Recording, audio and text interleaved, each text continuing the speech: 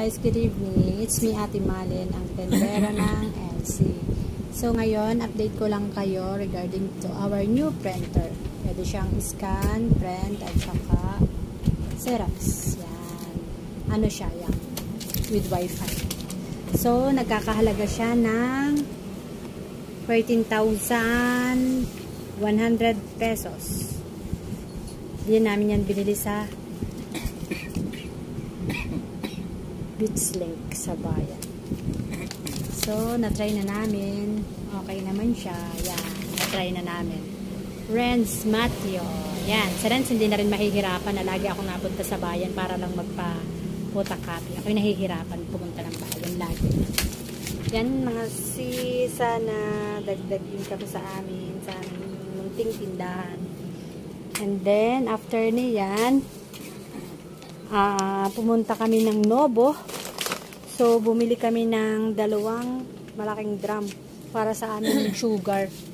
Sugar na puti, sugar na white. Kasi nilalanggam yung aming ano, sugar. Bumili kami ng tig isang sako. So, dyan namin ilalagay mga sisi, mga narip ako ng 1 port, 1 port also. And then, bumili kami nito. Si Matthew bumili nito. Ito daw ay para sa kanyang pusa. Napakamahal na reduce ko na batang ito. Mahal na mahal ang kanyang pusa at aso. Dalawa siya. May nabili. Okay. Wait lang po. And then, 2, 4, 6, 7 na bus tray para sa aking tindahan. Green. Mahilig kasi ako sa mga green. Ito pa lang si Matthew kung anong pinagdadampot. Dalawa pala ito. Mayroon pa. Tapos ito ay salaan ko ng nuts. And then, tatlo, apat na basket pa rin. And then hanger. And then, yes, palanggana. Para dun sa bahay namin. Hindi dito sa bahay namin to. Yan, binili ko dito lalagyan ng milk namin. So, yun lang mga guys. Ang update ko sa inyo. Sana, supportahan yung aking vlog. At sana, makadagdag pa yung aming new printer and freezer sa aming dagdag business. Maingay ang tricycle mga guys.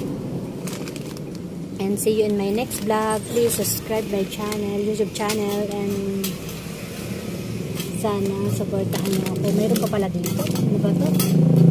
Pinakukuha ni Matthew sa Novo. Dito pa pala, may pahabol pa si Matthew. Nakita ko sa bag. Yan si Matthew, kung ano ang dinadampot. Yun lang mga guys. Update ko kayo on my next vlog. Bye-bye. See you and God bless. Sana kami ay lumago ang aming munting tindahan. Salamat. Bye-bye.